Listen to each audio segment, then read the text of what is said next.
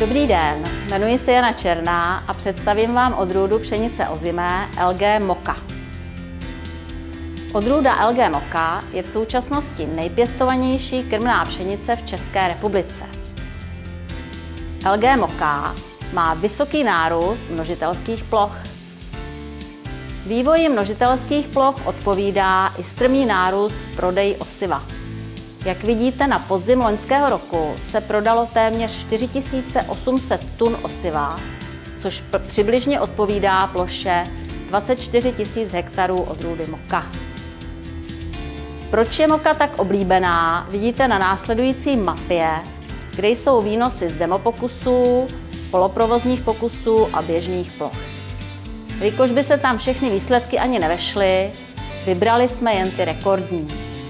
Výnosy se pohybují mezi 8,5 až 10,5 tunami na běžných plochách a v pokusech je nejvyšší výnos dokonce 14,5 tuny po hektaru. Vysoké výnosy hlásí i ze Slovenska.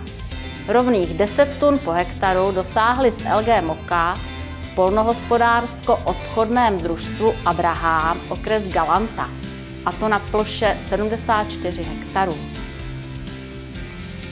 Odrůda Moka dosáhla vysokého průměrného výnosu v SDO Uxus za čtyři roky 2017 až 2020.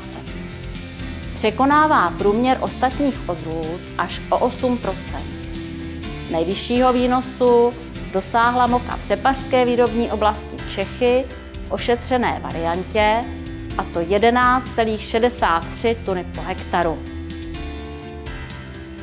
Na poloprovozním pokusu v Uniagro Zaloňov dosáhla LG Moka nejvyššího průměrného výnosu za poslední dva roky, a to 115% na průměr 34 odrůd.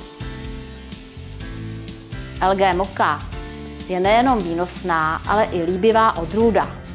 V roce 2020 získala hned dva tituly Miss a to Miss Polní den z Calagro 2020 na okrese Přerov a Miss Pšenice Ozimá na dní agronoma v Uniagro Zaloňov na okrese Náchod.